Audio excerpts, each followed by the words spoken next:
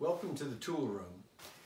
Today I'm going to do a video about prepping wood for a project that I'm working on and it's going to be walnut and um, we're going to use some of the planes here and talk about using the Stanley planes.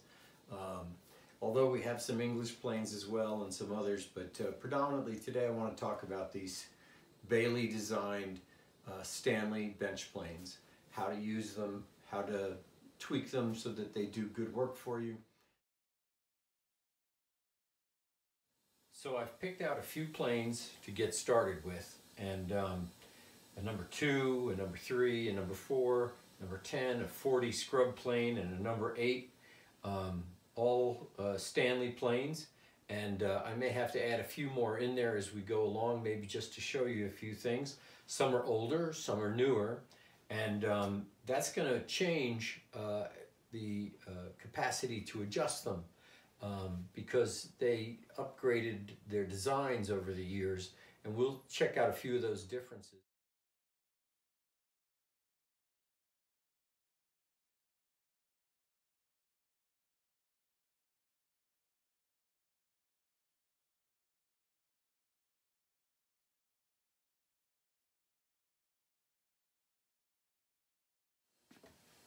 So we're in the shop and I brought out a few different planes and uh, the first thing I wanted to talk to you about was um, you can see there's a wide assortment of sizes here. They're all very similar. The ones in the back are all Bailey designed um, Stanleys and they all work on the same principles. But, um, but you see all the different sizes makes a difference for whatever you're working on. We're going to today work on some of this walnut um, to complete this project that I'm working on back here. And this is rough sawn, so we need to smooth it out and then we need to square up the boards and, uh, and get them prepped to uh, be sized for the cabinet doors. But I wanted to show you first of all, because a lot of people wonder why people need such small planes versus large ones. And I think uh, what's important is to size the plane to the work that you're doing. Now, here's a little piece of boxwood here, and um, if I were to use this plane, which is the number eight, that big plane on it, um, it would be awkward, and I wouldn't be able to see my work. So uh, when you're smoothing something and not jointing it, um, you use a plane that's closer to the size of the block that you're working on so that you can see uh, what you're doing. Now you see this is also rough sawn because you can you can hear and you can see these lines. So when you're smoothing a board, um, you want to use a plane that's proportional to your work. Um, and I'm going to talk in a second about uh, setting up these planes. Um, or maybe I'll get to that right away, but I wanted to first mention to you that you, you really want to use a plane that matches the size and the proportions of what you're working on. So first, I thought I'd go over the parts of the plane. So when you see a plane in the store um, for sale, there's a few things that you have to consider. Um, number one is to remove the blade, or iron, as it's called, and this lever. Now, a lot of us refer to this as a lever cap, but in the 1939 Stanley catalog, they just refer to it as a lever. Um, and they describe this hole here, which changes shape. Over the years, it turns more into a kidney shape rather than this keyhole shape. So um, we remove the blade and the chip breaker. And let me show you that. That's a two-part piece.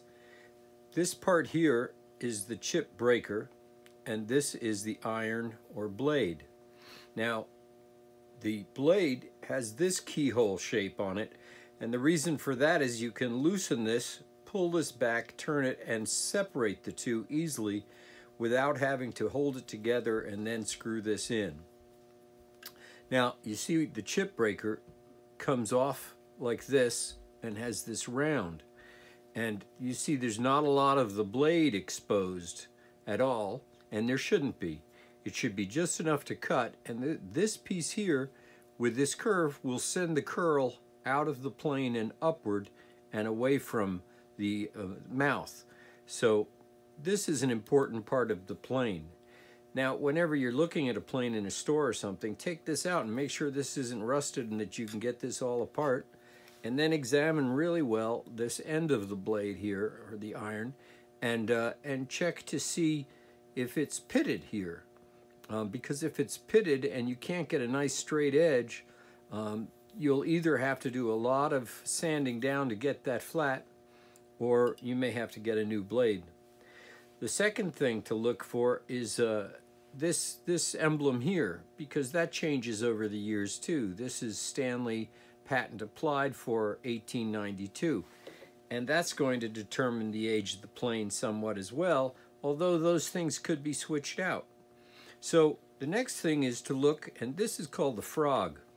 Now, I have a frog here that's already out of the plane to show you what it looks like. This is the frog of an early plane. And the way you can tell this frog is early is you see there's no lever coming up here. And this is a, called a lateral adjuster.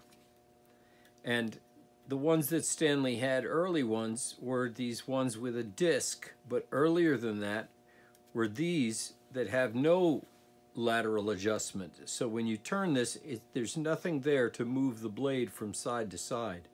These are harder to set up. They're very collectible because of their age, but they're very hard to get the blade exactly where you want and tighten down. So this is the original, and then they went to a new design. This all changed as well. The other thing that changed is the size of this. You see uh, on the newer ones, you can see how large that brass knob is compared to the older one. And on the oldest ones, it has writing inside here that have the patent dates. So these are also very collectible, but they're not very good to use because you don't have a lot of fine adjustments. Now, this plane that we're talking about, um, the frog has the lateral adjustment and it's got two screws that hold it here to the sole of the plane. This is the sole. And this is a corrugated plane, as you can see these corrugations here. And some planes are smooth bottom and some are corrugated. That's another thing to look for. Um, and that's really more of a preference thing. Some people like the smooth, some people prefer the corrugated. Um, I like both. I have one of each. Um, so then there's writing on this here and that will also help you date the, the uh, plane if it's important to you to date it. It's not always that important. I like a, a plane with a low knob, and this is a beautiful rosewood handle here, but that has nothing to do with how well this plane works. So if you're going to buy a plane as a collector, these are all things you need to be concerned about. But if you're going to buy it as a user, then you want to be concerned about having this adjuster here for being able to turn the blade and pivot the blade. And the more you pivot it, the more blade will stick out one side or the other. And you want it to be really parallel to this when you're actually going to use it in the setup. Now, there's another adjustment that's missing from this one, and that's back here. And what that adjuster does, and I'll show you that on a plane that has one. Let's see. Here's one that has it. This is a number five and a quarter. And I think you might be able to see in there, there's two screws and there's a little saddle that goes around one of these screws. And what that does is when you tighten it down, it moves this frog front to back. And that controls the opening that you wind up with on the uh, throat here, or mouth of the plane. So you want this to be nice and snug and tight. You don't want too much of a gap back here, but the more important gap is the one from the edge of the blade to the uh, front of the throat. And that allows you to do it from here with a screwdriver and um, rather than having to adjust it and sight it, tighten it down, put the blade in, put the lever cap back on, try it out, take it back out, adjust it back again. So that was a big advancement. And that came about with the bedrocks. And the bedrock planes, here's a bedrock plane. And um, this is not the earliest bedrocks. The earliest bedrocks looked just like those other ones and didn't have this flat side. And then they came out with this flat side to distinguish the two. And the bedrocks have numbers on them that begin with six. So this is a number five size plane, but it, since it's a bedrock, it's number 605. But that's a whole nother story. So let's get back to these parts. Now, one thing that I said that was uh, not a little incomplete is that between this style and the ones that had none, they had another adjuster that instead of having this rotating disc, it was just the piece of metal bent up, so it was a little flat portion, and that would push back and forth on the blade to pivot to pivot it. Um, another another way of dating the plane, as as a, a lot of collectors want to do. So um, what we want to talk about next is the the tote or handle or the from in the back. Um, this is called the tote, and this is the front knob. Now, uh, the older ones have a little short knob like that, and the newer ones have this taller knob. I don't know if you can see the difference there. Um, I prefer in appearance the lower knob and I tend to put my thumb on top of it this way and use it like that rather than holding it like that. Um, so the big knob kind of gets in my way. Um, here in this case, you can see that uh, I'm just holding on to the front knob like that. And um, that's very comfortable to me. Here's another important part of putting together a plane and, and using a plane is to have a screwdriver that fits properly all of these screws. You don't want to use one that's sloppy because you'll wind up taking the slots and distorting them if you have a loose screwdriver. So in uh, adjusting these, you want to make sure you have a screwdriver that has uh, a nice snug fit into the screws and doesn't turn a lot. Now, there's a brass piece here and a rod that goes down and screws into the base here. So this is has a small hole going up through it and then a deeper hole up here. And that's what holds the knob tight.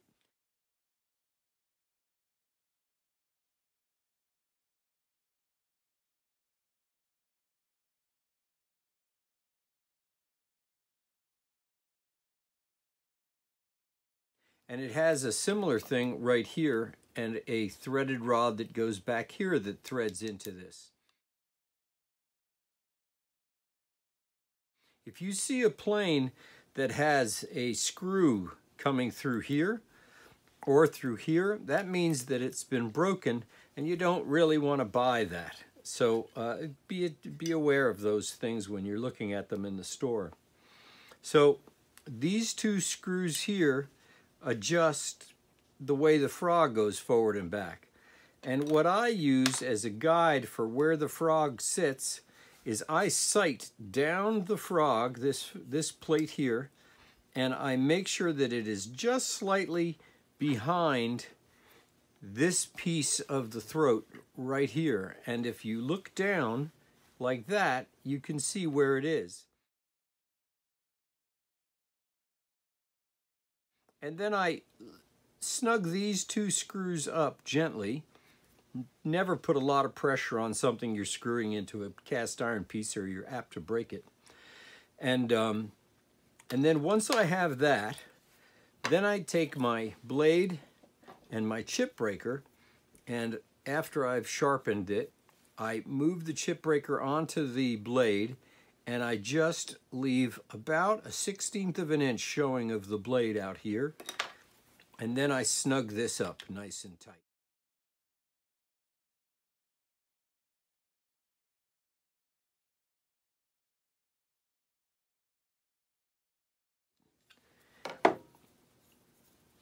Then I place the blade onto the frog like that and make sure it's seated well.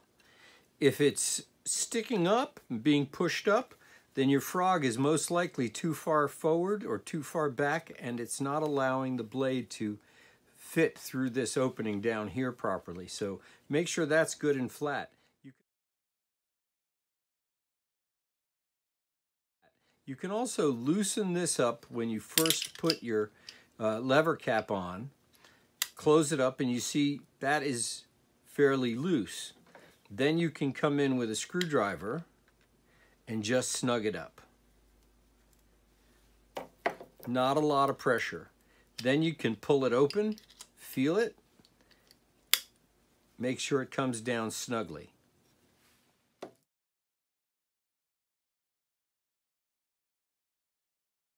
So for adjusting the plane, what I do is I sight down from the front to the back and I extend my blade out by rotating the forward advancement knob under the tote and I bring it up so I can see an edge of it right here. You see along here? And um, it's a little piece of uh, a shaving still on this side. And then what I do is I take the lateral adjuster and I can move it over to one side and you see how one part of the blade is sticking out and I move it the other way until I've got it nice and parallel and then to the to the sole of the plane and then I can back that blade back in and it won't change that uh, side to side adjustment but it will give me an idea of uh, how much is sticking out and that it's parallel to the bottom of the plane. So what I'm doing here is I take it back to where the blade, there's no bite. And then I gradually bring it forward until I feel it start to bite. And you see that's a fairly fine shaving that I'm getting there. And um, that's all fine and good, but you see this piece here is really long. If I use this plane on it to smooth it out, then I won't make this flat across here because this plane can go in and out. So this is what I was talking about is proportional. Since this piece is this long, I want to use the larger plane. So when I'm coming across here, I get a nice shaving, but also because this is long and flat, it will flatten this board. It won't ride in and out. I could also come in here with a larger piece, but you see how big this is compared to the board? This is overkill and um, and it means that I won't be able to see my work as I go. So I pick a plane that is proportional to the work. Now this was a piece of rough sawn walnut and you can see the saw marks here and you can see here how they're starting to disappear. And what I do is I go across it and I keep the plane flat to the board and um, then I can see, I know the plane is flat and I know the board is going to be flat and I can see that I'm removing wood that is not where these pieces are. So all of this area here, in order to make it flat, has to come down to the level of the bottom of these saw marks. I'm not going to just plane this area here because yes, that would make these saw marks go away, but the problem is that this would be lower and this would be higher, and that is not going to be a flat, straight edge. So you have to go all the way across the piece until you see these start to disappear and you can take it down and then go to your side. You can always come back to this but you can examine different parts of the wood as you go to make sure, like here's a hole here. So I'll square this up to this and then I'll go to this side and I'll find the best side that I want to use and then I'll remove more of the side that I don't want to use and that way I get the best piece for the job. Now that's another nice little thing there. You see from here forward it took wood off and right in this area here it took wood off. This is nice and smooth, this is nice and smooth, but not here. And that means that there's an undulation here and offside here, and that these have to come down before it'll cut here. And that's what you want to do to flatten a board, is you want to remove all of the high rather than trying to dig out the low.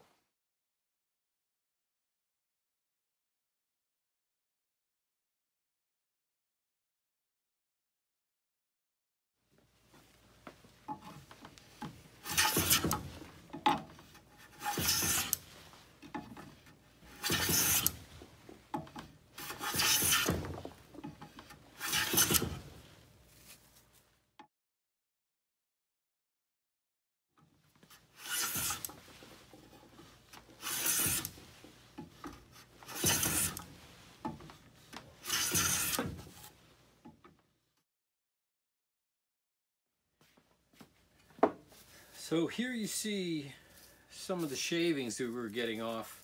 This was a little thicker earlier, and then as we got down to a smoother board, um, nice and flat, you can see that some of the shavings are really, really super whisper thin. And that's, that's what we want, is a nice flat board like that. Now the next thing we're, we're, that we're going to do is we're going to square this side to this side, or to this side. This You can also see the saw marks there, but we're going to do this side. And once we square this to this, then we can work off the back and work our way around. So that'll be our next side to plane. And we can come back and use this plane, but instead we'll go with something a little less wide uh, because there's no reason to use a plane that's that wide on a board this size, but we don't want a longer plane, so we're still going to stick with approximately that length. So this is the one that we were using was a number five and a half, which is same as the number five, only wider. And um, I don't know if I went over these, but basically we have here a number uh, two, a number three, a number four, a number four and a half, which is the same length as a number four, but a little wider. This is a five and a quarter, which is a little shorter than the fives and thinner than a five, because these were meant for students' planes to teach them how to use uh, the work. So we could also use this one here. Maybe we'll do that. That's a good size for this board and all. And then uh, this is the 605, which is the bedrock. And you can tell the bedrock because of these flat sides. Earlier ones had the round sides as well. But uh, this sort of made it distinctive and stand out. And then we had a number six. Uh, no, I'm sorry. This was the five and a half. So it's the number five length, but a little wider. Then the number six, and then a number seven, and then a number eight. We're not going to really use the number eight because we're not doing anything really long enough. I use the eight when I'm jointing a door or something really long that I want to make sure is nice and straight. But there's no reason to use a plane that big on a board this size. The other two that I'm going to show you, um, if I have another piece of rough board, this is a, a scrub plane. It's a number 40 and a half, which is the wider of the Stanley scrub planes. And the scrub planes are distinctive because they don't have the chip breaker. They only have the blade and they have a more open throat than these other ones. And the blade is sharpened into a round like a spoon bit. And that's because you're trying to hog off a lot of material on a log or something like that to get it down to the point that you can use these planes on it. So that's the 40 and a half.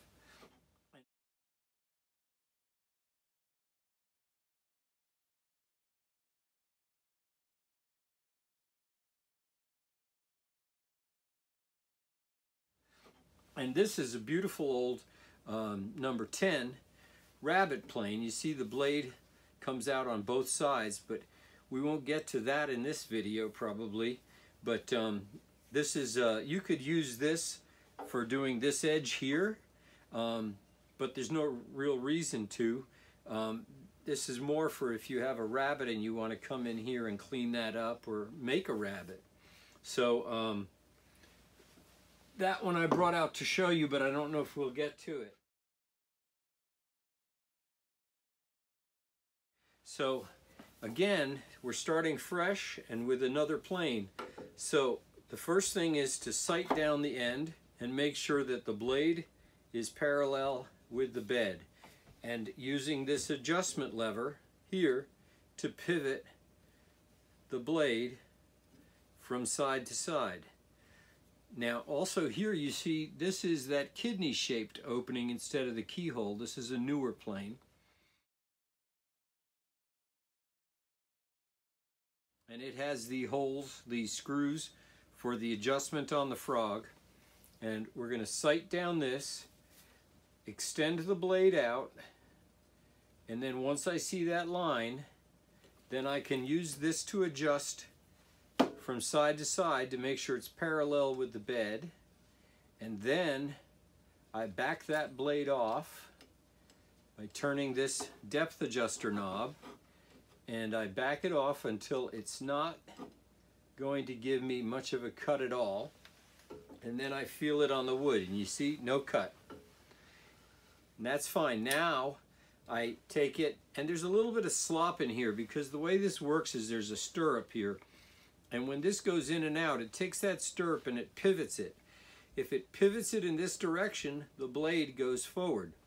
If it pivots it in the other direction the blade comes up so I want it to go this way, which makes the blade go forward because the stirrup, this has got a counter thread so that as you, it looks like you're tightening it, but actually it's moving away.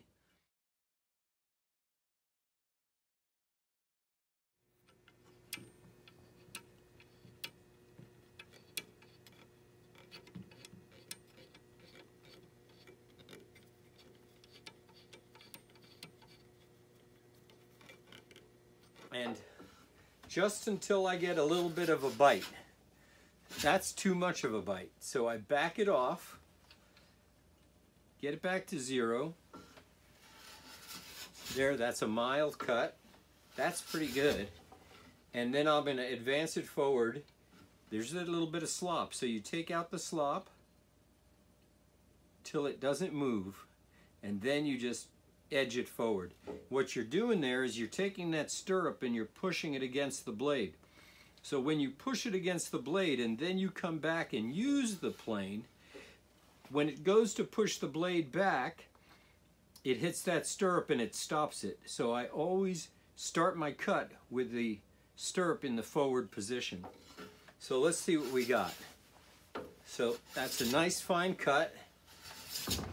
And I'm not going to worry about squaring too much. First I want to get this down to a flat. And as I can see here already, this is nice. I've cut out here, that part. Not here. This is still rough sawn. This is smooth. This is not. And this is not. So it's hitting here, it's hitting here, and it's hitting here. So those areas have to come down before it will get rid of these pieces. So let's go a few more times and we'll see, see how pretty fine still cutting. Now, don't worry if you get cuts like this as opposed to full width cuts like this because it's because the board isn't flat that you're not getting that. It has nothing to do with your plane. It has to do with the fact that this was not a flat board and so every time you get an area that you haven't reached, that will not give you a complete width of the cut. Once you get all the way down, that'll change. So a little bit of patience and you can watch it disappear. Now it's just here, here, and this corner. This is already planed and smooth.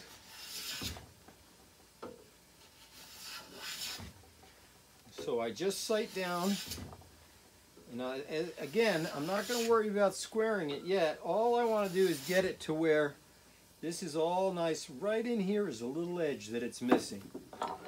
So right there, right in here, and right here. So I need to bring all this down some more. And you can see, you can hear how much smoother the plane is cutting because now I'm getting more wood because I'm getting full width on the board. And as the board gets smoother, these get thinner. So all of that is done and now the next step, nice and smooth, nice and smooth. So the next step is to put a square on this and make sure these two are correct. If it's out of square, now's the time for me to adjust it. So I have my square out and I need to test this board because we have planed this surface and we've planed this surface. So I take the body of my square and I put it against that first side because rather than adjust this wide side, I'll adjust this thin side to make sure it's square to that one. And what I do is I sight it out the window so I get light, or I could do it up to here, and I can see that this side here is about a 16th higher. This side here is a 16th higher than this side. So this side needs to come down. So I get it back in the vise.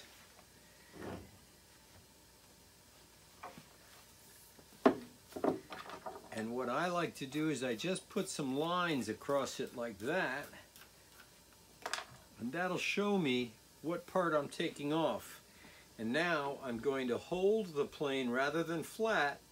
I'm going to take off a little bit on this side and a little bit more.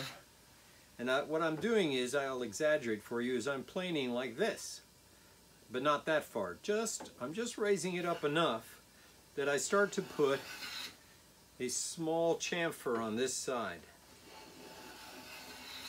And then, once I get that coming down, and I can see how much I'm cutting with my pencil marks disappearing, then I can come in here and start flattening it out. And I'm just taking off this high side and I keep doing that. And each time I do it, I bring the plane down flat, so I'm taking off the high. Now you can see the cut, the shavings are getting wider. And I'm, now I have a little bump right there in the middle. So I can work that off and work that off. Now I'm going to check it again before I go too far. And now I'm about a 64th off. So I, less and less do I need to take on this side. And so I'm almost taking the plane back to being flat.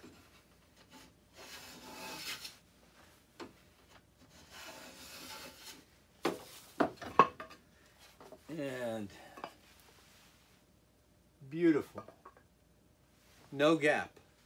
When I sight down through here, there's no gap. So that is square to that. So I want to explain that this piece of walnut I'm going to use is for a door frame for that uh, uh, spice rack. And I squared this one to this one because I will probably cut some of this off and not use this part. Um, I don't mind having a little bit of it, but um, this is nice and dark brown, and that's really the piece that I want. So I'm going to stop on this. I'm not going to go on to these other two sides because I, I need to thickness it down to the size of the door, and I'll saw that instead of planing all of that off. But that means that this part here where this knot is and this branch was coming out, I'm going to be able to probably take off completely. So what I'm going to do now is stop on this piece and start on another one and get another piece one side good and another side good and then we'll probably saw off some of this.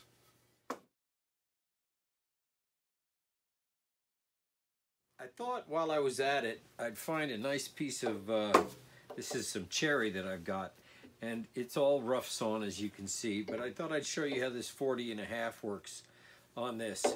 So what I'm to do is to set the blade I loosen this and then I drive this I, I raise the blade up and I just bring the blade down till it's touching and then I tighten it up and and that will set that blade without a lot of it coming off you see it's not cutting a lot now if I wanted to cut a little deeper sometimes what I'll do is I'll just take a little piece of a shaving and put it under the toe and um, and that'll allow that blade to sink in a little bit further straighten her up. And now it'll cut a little deeper. But I want you to see how that will take this stuff off really quickly and even some of these high spots out here. And what I'm doing is I'm basically cutting across the grain and roughing it out. And then I'll come back and I'll come this way.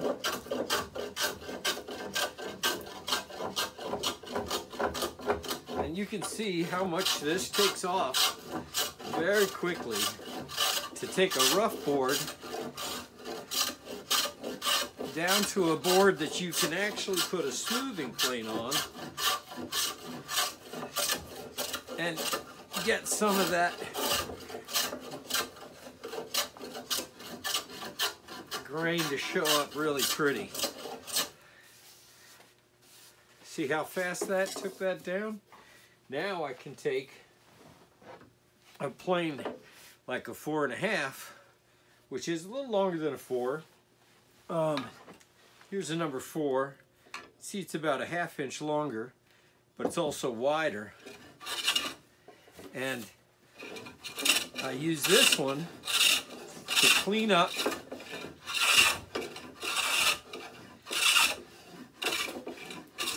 the rest of the board.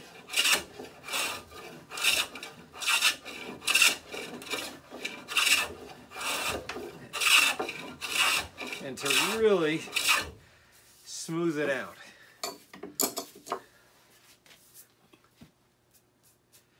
Look at that pretty color of the cherry coming through. I've lined up all of the backs of all of the planes so that they're all touching that board and you can see the length. So here we have a number one, the number two, the number three, the number four, the number four and a half is wider than the number four and a little bit longer. The number four, five and a quarter, which is the student's plane, which is not quite as long as the five, and it's thinner so there's the number five. And then this is the Bedrock 605 with the flat sides. And then we go to the five and a half, which is a little longer than the five and wider. And then we go to the number six and the number seven and the number eight. And so there they are, all of the Baileys in a row. So that'll give you a good idea of how they differ.